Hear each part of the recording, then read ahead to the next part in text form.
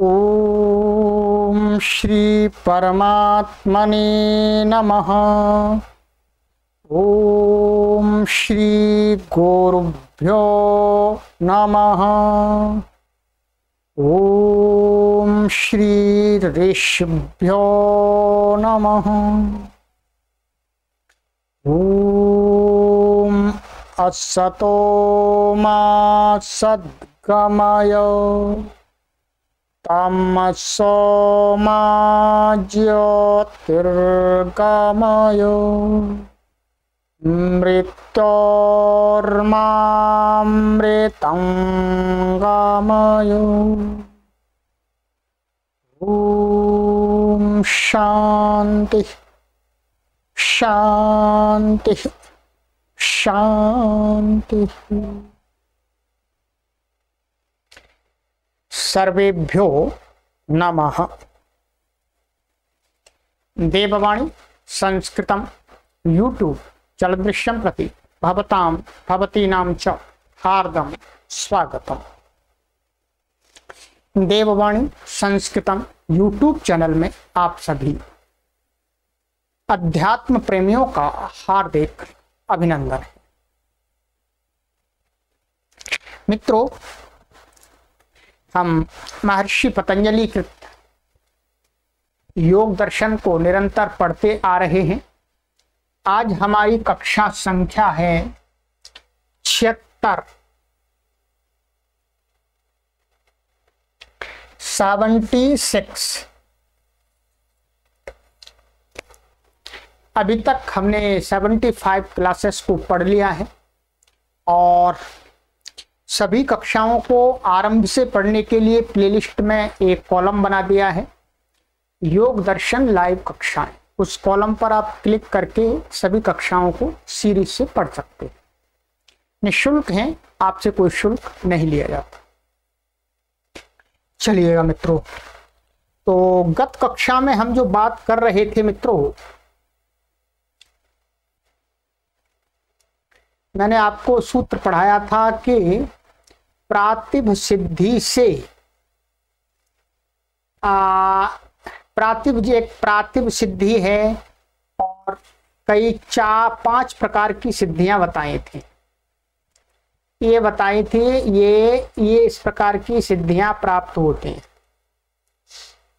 ये अंतिम सूत्र पढ़ाया था, प्रा, ये प्रातिभ है, यहाँ गलत लिखा हुआ है। ये प्रातिभ। प्रातिभ श्रावण वेदना दर्श स्वाद वार्ता जायन्ते। ये आपकी एक, दो, तीन, चार, पाँच, छह प्रकार की सिद्धियाँ थी छह प्रकार की है, जब आत्म तत्व का बोध हो जाने पर ये फल प्रफल के रूप में प्राप्त होती है, ठीक है? तो इसके बारे में बता दिया था कि आपको जो प्रातिभ से क्या होता है? सूक्ष्म, माने व्यवधान से युक्त भी कोई विषय है, उसका भी ज्ञान हो जाता है योगी को। और जो श्रावण सिद्धि है, उससे दिव्य शब्दों का श्रवण योगी को होता है। दिव्य ध्वनिया उसे सुनाई देती हैं। और वेदन सिद्धि से दिव्य स्पर्श की अनुभूति होती है उसे। आदर्श से उसको दिव्य रूप का बोध होता है। उसको भिन्न बहुत आकर्षक दिव्य उसको दिखाई देते हैं। और आस्वाद से क्या होता है? उसको दिव्य रसों का स्वाद आता है। अद्भुत रसों का, जो सांसारिक विषयों में जो रस नहीं मिलता है, स्वाद नहीं मिलता, उससे भी विशेष स्वाद मिलता है उसको योगी को। और वार्ता से क्या होता है? दिव्य गंध का ज्ञान होता है। ठीक है? ये इस प्रकार से छह सिद्धियाँ ये प्राप्त होती हैं आत्म तत्व के बोध होने परंतु आगे महर्षि पतंजलि जी एक बहुत विशेष सूत्र बताने जा रहे हैं। इसको हर योगी को, हर साधक को ध्यान में रखना चाहिए। यदि उसको अपनी साधना पूरी करनी है योग दर्शन का पूरा उसको जो परिणाम चाहिए, योग दर्शन के द्वारा बताई गई क्रियाओं का, जो परिणाम पूरा का पूरा चाहिए, उस योगी को, उस साधक को, साधिका को, योगिनी को, इस सूत्र को हमेशा ध्यान रखना चाहिए। यहाँ कहते हैं महर्षि पतंजलि जी महाराज ते समाधा उपसर्गा व्युत्थाने सिद्धया।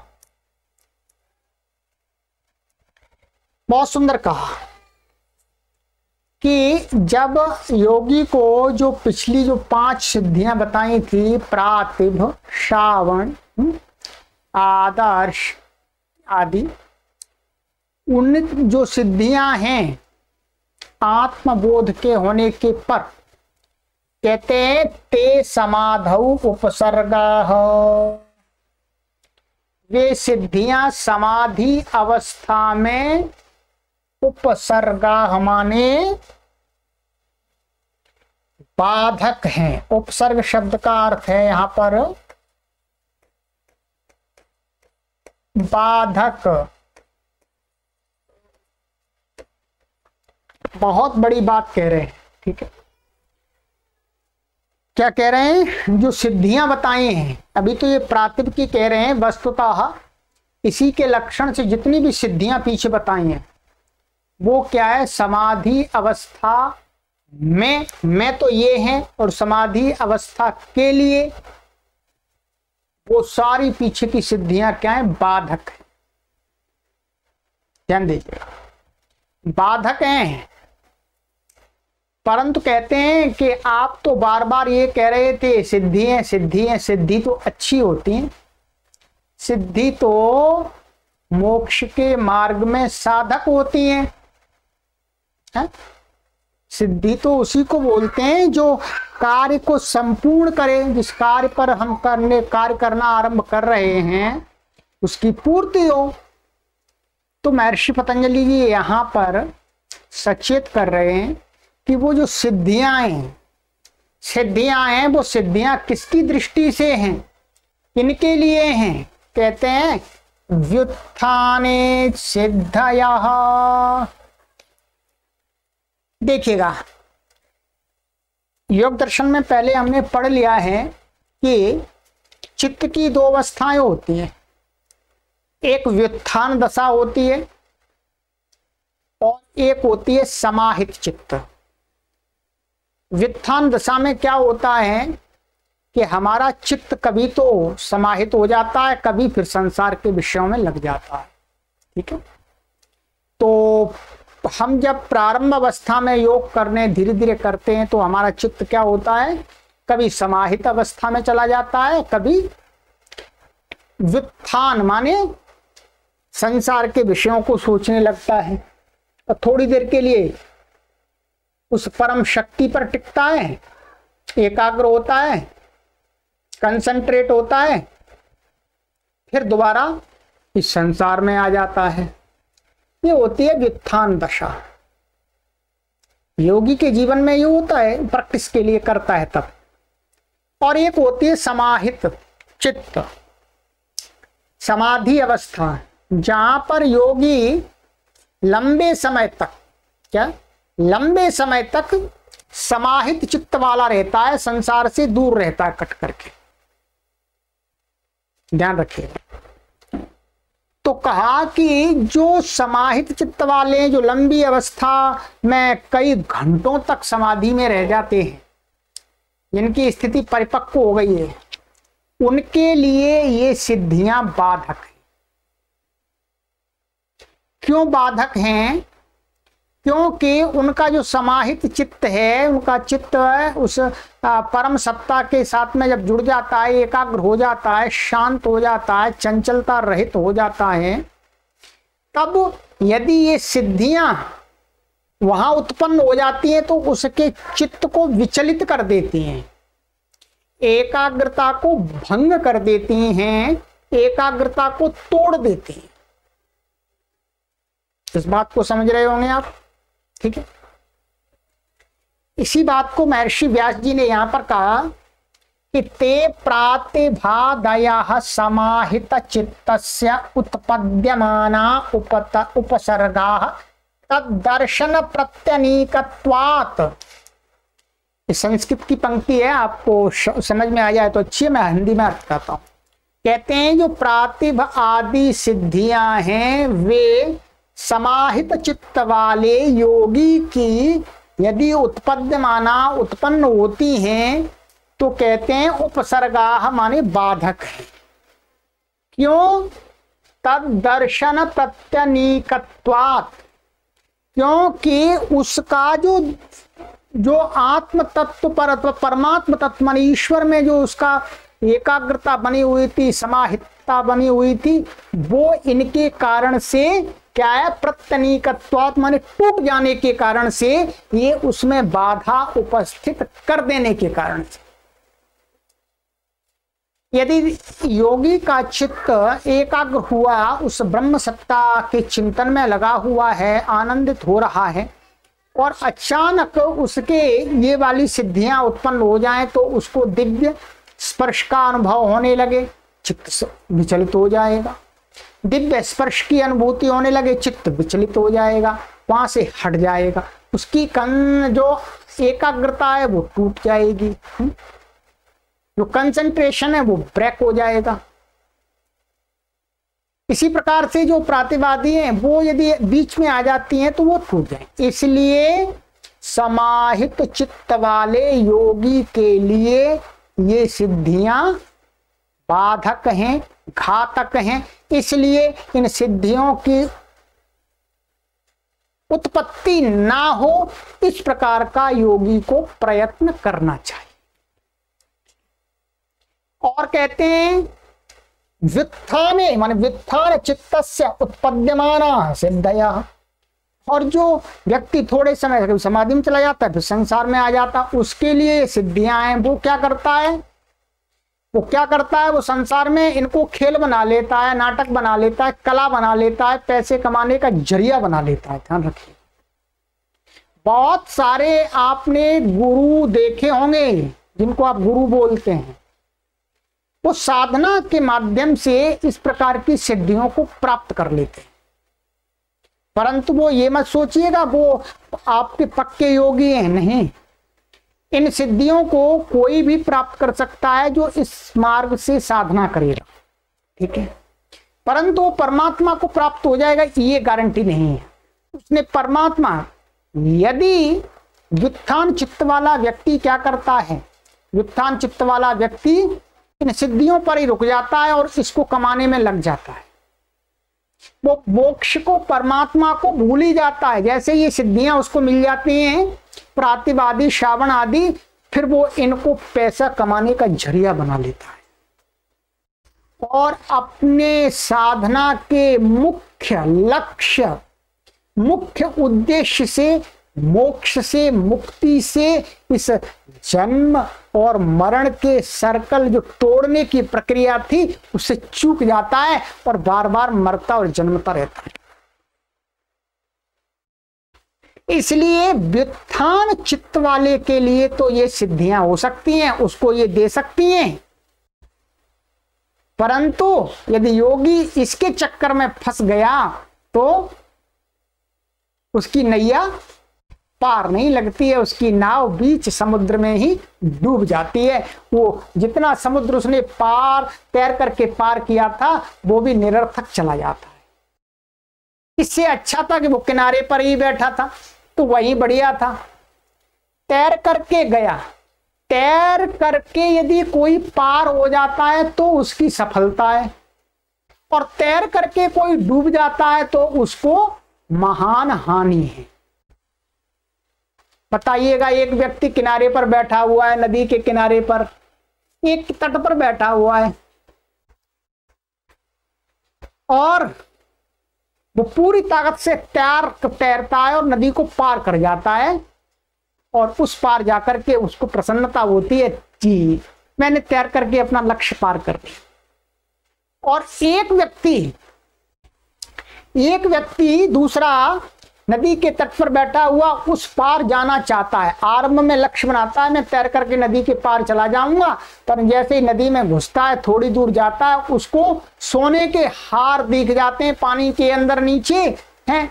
हीरे जवाहरात के हार आभूषण दिख जाते हैं तो वो उनको पकड़ने में लग जाता है। पकड़ने में जैसे लगता है तो वही डूब जाता है और मर जाता है। बताइएगा, वो किनारे पर बैठा रहता तो ही अच्छा था। तैरने से बढ़िया वो किनारे पर बैठा रहता, तट पर बैठा रहता तो अच्छा था, उसका उसे जीवित तो रहता। परंतु वो तैरना आरंभ तो किया पार जाने के लिए, परंतु बीच में हीरे जवाहरात के जो आभूषण थे, वो देख करके मन ललचा गया और उन्हीं में फंस गया और डूब गया और मर गया। ठीक इसी प्रकार से मित्रों ये सिद्धियाँ हैं। इसलिए महर्षि पतंजलि ने ये सिद्धियाँ बताई कि इस इस प्रकार की स्थिति योगी के जीवन में घटित हो सकती है, परंतु इनसे बचना है इनसे बचना है स्थिति आए, उसको छोड़ दीजिएगा, है? लीव छोड़ दीजिएगा उसको, उस पर चिपकना नहीं है। इस बात में सौ योगियों में से एक परसेंट योगी ही बच पाते। नाइन्टी परसेंट योगी तो इसको कला बना करके जी जादूगर बन जाते हैं और पैसे कमाते हैं। पतंजलि ने तो दोनों बात बता दिए इसको कहते हैं सत्य बात का कहने वाला व्यक्ति। पतंजलि जी किसी एक पक्ष को नहीं दिखा रहे, वो सही कह रहे हैं। कि ऐसी स्थिति आएगी। यदि आप योग की क्रियाओं की प्रैक्टिस करेंगे, अभ्यास करेंगे तो ये स्थितियाँ उत्पन्न होंगी। इसमें झूठ नहीं है, परंतु ये आप यदि मोक्ष चाहते हैं, मुक्ति चाहते हैं, क्योंकि आपने योग की क्रियाओं को करना किस लिए आरंभ किया था कि मैं परमात्मा की प्राप्ति करूँगा, मैं मुक्ति की प्राप्ति करूँगा, मैं जन्म मरण की से छुटकारा पाऊँगा। इसलिए तो आपने योग दर्शन को पढ़ना आरंभ किया, योग दर्शन की क्रियाओं को करना आरंभ किया। लक्ष्य क्या बनाया था आरंभ में आपने? आपने बनाया था मुक्ति, जन्म, मरण से छुटकारा, दुख से छुटकारा। परंतु आपको थोड़ा सा कुछ हाथ में मिल गया और आपने वो मुख्य लक्ष्य को छोड़ करके वहीं पर आप लटक गए। तो बताइएगा, आपने अपने जीवन के साथ धोखा किया कि नहीं किया? आपने लोगों के साथ धोखा किया कि नहीं किया? किया मित्र। तो मित्रों, इस बात का हमें ध्यान रखना है इस सूत्र को ते समाधा उपसर्गा व्युत्थाने सिद्धया। ये जो सिद्धियाँ हैं, प्रातिवादी बताई थी, ये क्या है? ये मोक्ष के मार्ग में बाधक होती हैं, इसलिए इनसे बचना चाहिए। और हाँ वित्थान चित्त वाले संसारी व्यक्ति के लिए ये एक ज़रिया बन जाती हैं। निन्यानवे से सौ बनाने का ज़रिया बन जाती हैं। परंतु उस प्रकार का व्यक्ति अपनी नैया को डुबो लेता है, अपनी नाव को डुबो लेता है मित्र। चलिएगा मित्रों तो ये ध्यान रखेंगे। क्या है? ते समाधा उपसर्गा व्युत्थाने सिद्धया हमें। यदि योग का हमने अभ्यास करना आरंभ कर दिया इन सिद्धियाँ ये हमारे जीवन में घटित हो रही हैं तो इनको तमाशा मत बनाइएगा, अपने तक ही सीमित रखिएगा, इनको मंच पर बैठ करके कभी भी जादू की छड़ी से भूत भगाने का कार्य मत कीजिएगा, मेरा तो आपसे यही निवेदन है। फिर आपकी मर्ज़ी। फिर आपकी मर्ज़ी। जो जैसा करेगा उसका परिणाम उसी को भुगतना पड़ेगा। मैं एक शिक्षक हूँ, मैं आपको सही बात बता रहा हूँ, जैसा पतंजलि ने बताया, ये मेरा कर्तव्य, मैंने अपना कर्तव्य पूरा कर दिया। मानना ना मानना, ये आप सभी का काम है, ये मेरा कार्य नहीं। मेरा कार्य है जागरूकता पैदा करना। शिक्षक का यही काम होता है। चलिएगा, जो जागरूक बनेगा, वो नैया को पार करेगा, है? इस दुख रूपी संसार को पार कर जाएगा, और जो जागरूक नहीं बनेगा, जो सोता रहेगा तो वो धक्के खाता रहेगा संसार में। धक्के खा रहे हैं, चलिएगा। आगे की कक्षा में आप सूत्र पढ़ेंगे, विशेष विशेष सूत्र आ रहे हैं। बंध कारण शैथिल्या प्रचार संवेदना च चित्त पर शरीरा वेशा। ये भी बहुत अच्छा एक है। इसके बारे में हम लोग में बहुत सुनते हैं इस जानकारी के लिए। मित्रों, आप महर्षि पतंजलि के इस ज्ञान को करोड़ों लोगों तक पहुँचाने में सहयोग कीजिएगा। इस कक्षा को कोई भी पढ़ सकता है, संस्कृत को जानता है अथवा नहीं जानता है। ये कक्षा रटने की नहीं है, ये कक्षा सुनने की है, सुनने से आपको अपार ज्ञान की प्राप्ति होती है। चलिए, आगे की कक्षा में मिलते हैं। सर्वेभ्यो नमः, सभी को सादर नमस्ते।